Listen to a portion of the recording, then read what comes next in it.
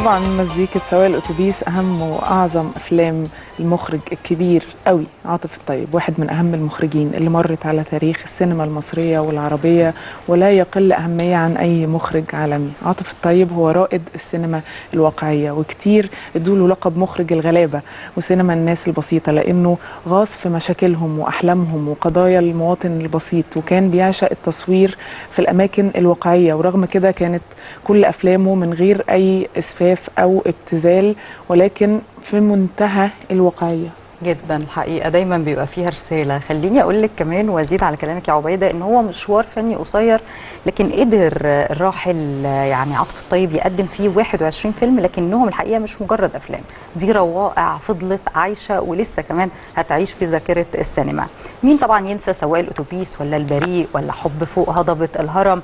اللي تصنفوا من ضمن أهم 100 فيلم في تاريخ السينما المصرية. يعني مش أفلام كده وخلاص اتعامل مع أهم نجوم السينما وأهمهم كتبها وصنعها عاطف الطيب النهارده بتمر الذكرى 29 على رحيله لكنه هيفضل باقي بأعماله بنرحب مع بعض بالمخرجه نيفين شلبي اللي كلمنا عن المخرج عاطف الطيب منورانا دلوقتي في صباح البلد صباح الفل صباح عليك الخير صباح صباح الفل الخير. منوران الله يرحمه ويحسن إليه وأعماله باقية خلينا نبدأ يعني. بسؤال مين عاطف الطيب بالنسبة لك؟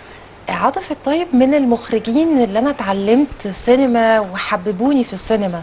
يعني أنا هو توفى سنة 95 أنا كنت يعني طفلة كنت 16 17 سنة تقريبا.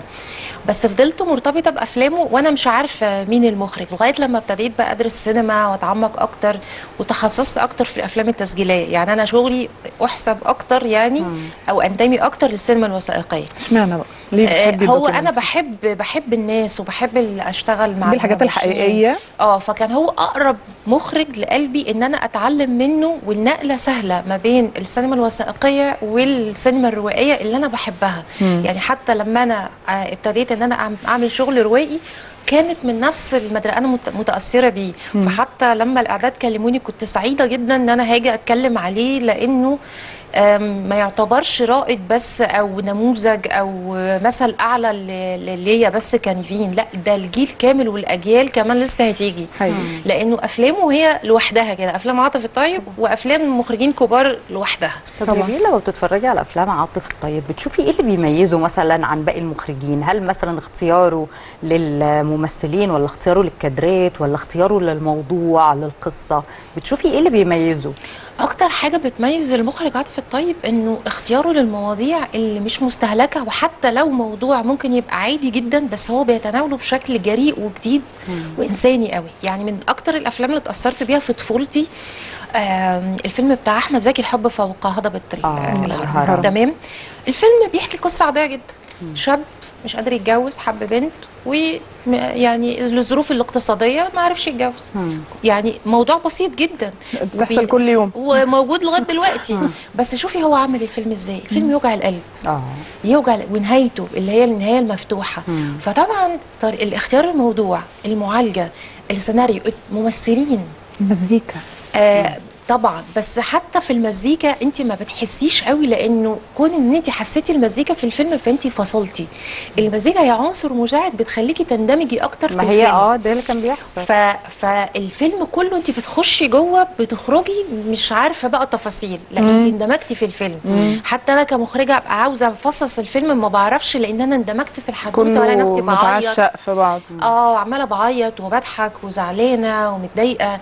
وبعدين بتحس إن هو بيوثق الأماكن. يعني مثلا الفيلم ده اللي هو بتاع أحمد زكي ده من أكتر الأفلام اللي أنا بحبها ومتاثره بيها. تلاقي جايب وسط البلد جايب مش عارفة شبرا جايب أماكن. فبتحسي إنه بتشوفي البلد في هذا التوقيت كانت الشوارع شكلها إيه الناس بتاكل إيه. آه بياكلوا في البيت مكرونة عشان هم الناس فقراء ما عندهمش لحمة. يعني أنا بركز وباخد بالي حتى تفاصيل. طريقة السفرة معمولة إزاي. مش ده دخل وسط أسرة بجد ده ده مش فيلم. مش بقى رصة السفرة والزيتون والمش عارف- لا لا لا. آه، حقيقية. دخل سفرة في بيت ناس آه، بيت آه، وقعد. مصري حقيقي. بالظبط. طب لو قلت لنا من ال 21 فيلم اللي عملهم عاطف الطيب مم. آه، أقرب ثلاث أفلام لقلبك؟ آه البريء. طبعا. آه تمام. سواق الأتوبيس. نور الشريف. وبعدين يعني التالت بقى ممكن ليله ساخنة. الهروب بتاع أحمد زكي مش عارفة. بصراحة آه. آه، يعني ثلاثة إيه صعبة إيه؟ قوي إيه ولا آه، إيه؟ بحبهم كلهم هم كلهم انت آه بتحبيهم بس أكتر واحد آه. البريء بصراحة لأنه كان حتى تجربة إن هو يجيب عسكري في في القوات أو في الأمن المركزي كانت تجربة فريدة جدا وإنه الفيلم اتمرر من الرقابة وتعاونه مع وحيد حامد فكان الفيلم أحمد زكي آه، محمود عبد العزيز كان الفيلم غريب يعني اولا إحنا لغاية دلوقتي لغاية وقتنا هذا شوف الفيلم معمول في الفيلم ده الثمانينات فعلا اتصور له نهايتين. آه. طب ليه بقى؟ ليه عم... ليه اتعمل له نهايتين في 1900 آه. كام يا شريف 86 86. 1986 هو الفيلم ده حساس قوي. مم. تمام؟ وأنا أصلا لغاية دلوقتي عندي تساؤلات كتير. الفيلم ده اتعمل إزاي واتمرر من الرقابة آه. أصلا كله؟ مش موضوع النهايه مم. موضوع أكبر من كده بكتير. مم. فكرة إن بنتكلم على عسكري في أمن مركزي في معتقل سياسي. مم. أصلا الفكرة وال log line بتاع الفيلم يخض. الفيلم ده كان فوحيد حامد مرروا إزاي. وعملوا إزاي؟ والفيلم بصرف النظر عن النهاية اللي نزلت بالسينمات والنهاية اللي بتاعت المخرج اللي هو قتل المعسكر كله. يعني أحمد أيوة. زكي في النهاية اللي اتشالت قتل المعسكر كله. فكانت نهاية extreme يعني. آه. فالنهاية دي النهاية اللي شالوه آه. دي اللي اتشالت. okay. دي اللي آه. اتشالت بس شفناها كلنا يعني. شفناها ونازلة في كل حتة. في بعض القنوات آه، النهاية دي موجودة. الفيلم بينتهي إن هو يعني.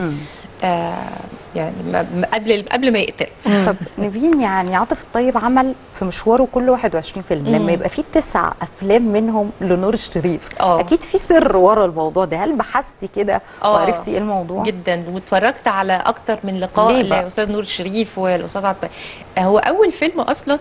آه، ده كان بطولة نور الشريف هنا بقى يعني هنا أنا نفسي أوجه للنجوم والممثلين إنه النجوم الكبار بيكتشفوا مخرجين مش مم. المخرجين بس هم اللي بيكتشفوا ممثلين. صح. فأستاذ نور الشريف رحمة الله عليه ده, كان فنان عظيم ورائع على المستوى الثقافي والفني والأخلاقي والإنساني. والشخصي. فكان بيدور زي ما بيدور على سيناريو جيد بيدور على المخرج الجيد. فهو يعتبر اللي مكتشف أصلا عاطف الطيب. عاطف مم. فهتلاقي إنه تاني فيلم عمله كان سواق الاتوبيس الفيلم اللي قبليه كان فيلم الطاووس بس للأسف يعني اتأخر الفيلم إن هو ما نزلش.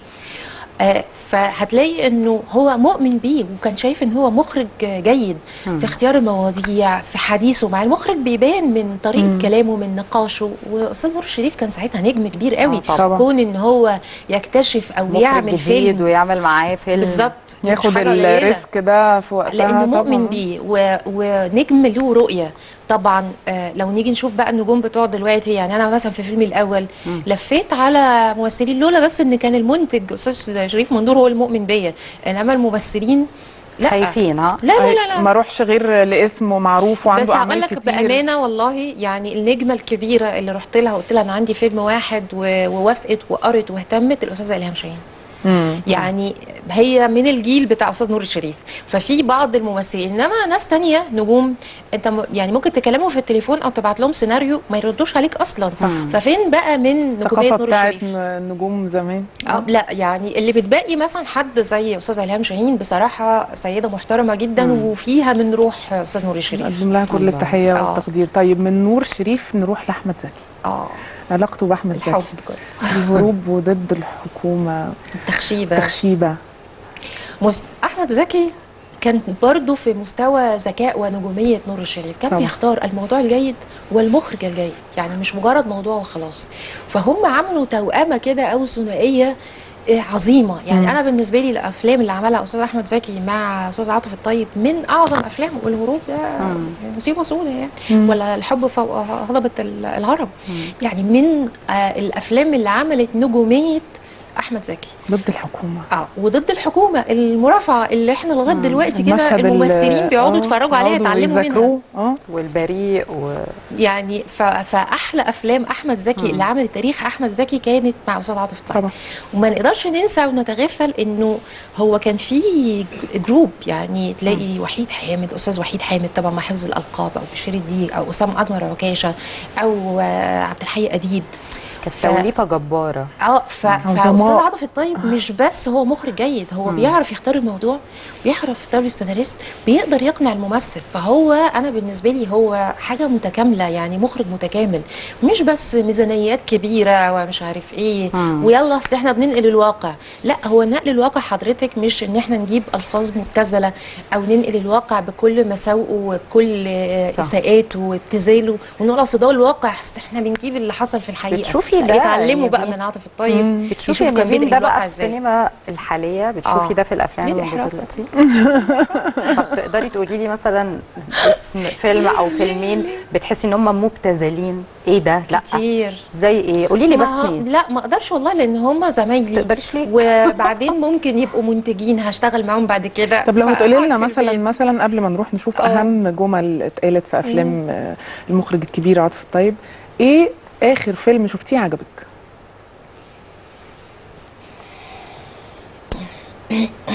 إيه الإحرام ده برضه ده ده اللي آه. عجبك أهو آه.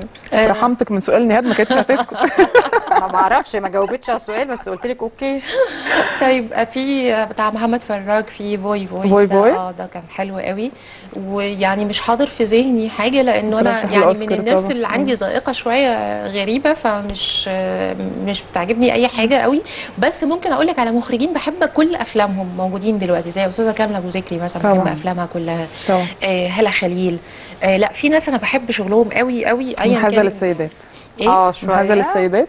لا والله بقى يعني شغلهم حلو. يعني بعد عاطف الطيب راحت بقى إيه ل- لا لا أنا بحب أستاذ داوود عبد السيد وأستاذ محمد خان ورأفت الميهي. لا يعني هي صدفة إنه يعني مثلا أنا مع احترامي الاستاذه إيناس الدغيدي مش بحب افلامها غير عفوا ويا قانون أهو. بتحسي إيه من أفلام إيناس الدغيدي آه مش ذوقي.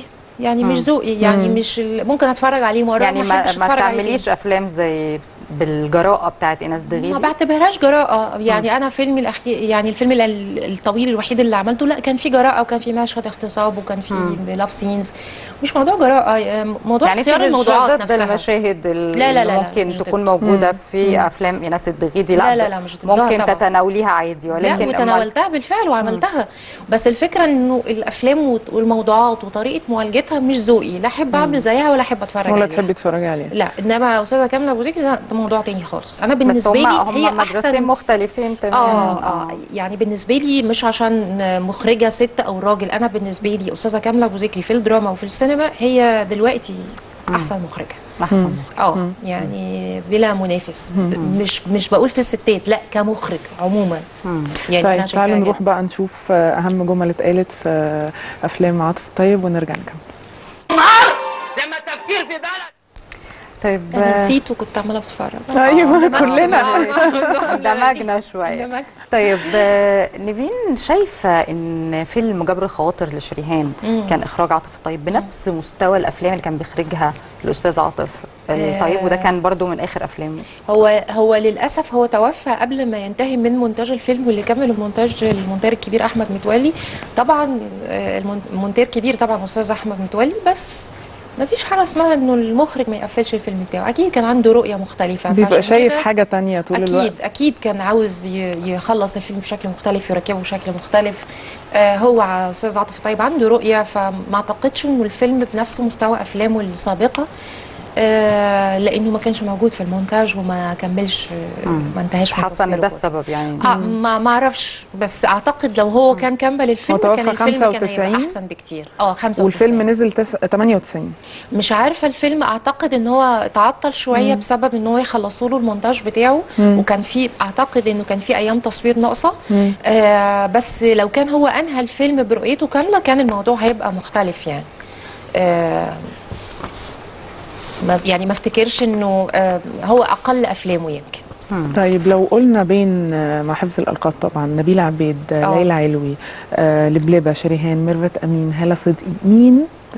آه، كان آه، لو نقدر نقول في علاقة أو كيمياء بينه وبين المخرج عاطف الطيب آه بصي الأسماء اللي حضرتك قلتيها دي كلها يعني هم لما اشتغلوا مع أستاذ عاطف الطيب يعني زي ما هم. يعني آه نجمات كبار جدا وابدعوا بس اللي حسيت إنه في اتنين خرجوا بره طلع منهم حاجة مختلفة؟ آه و... وراحوا في حتة تانية خالص وابتدوا يصنفوا بشكل مختلف. اعاد اكتشافهم مرة تانية. هم مم. اتنين. هلا صدقي ولبلبة.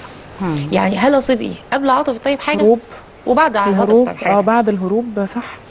يعني في حتة تانية لبلبة. مم.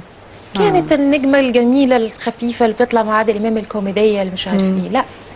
بعد ضد الحكومة وليلى ساخنة الفيلمين دول اللي عملتهم مع سعاد عاطف طيب لا لبلبة بقت ممثلة لها ثقل مختلف تماما مم. إنما ليلى علوي هي ليلى علوي النجمة قبل عاطف الطيب وبعد عاطف الطيب نبيلة يعني عبيد. ما كانش فيه إضافة نبيلة عبيد هي قبل وبعد مم. يعني هم كانوا آم، يعني في عز نجوميتهم وعاطف الطيب ما أضافش أو ما عادش اكتشاف حاجة فيهم مش زي هالة صدقي ولبلبة. آه هم كانوا حاجة مسارهم. اختلف. آه خالص آه، المخرجة الجميلة نيفين شلبي يعني نورتينا وكنا سعداء بوجودك معانا النهاردة في ذكرى الراحل الجميل عاطف. ميرسي الطيب جدا على الاستضافة. نورتينا. شرفتينا الله يرحمه وعايش دايما. بأعماله طبعا. بينا. طبعا. نورتينا في صباح. البلد خلصت خلاص. خلصت حلقتنا بسرعة ختامها جدا. أيوه. لكن لينا لقاء بكرة إن شاء الله في نفس الميعاد من 8 ل 10 صباحا.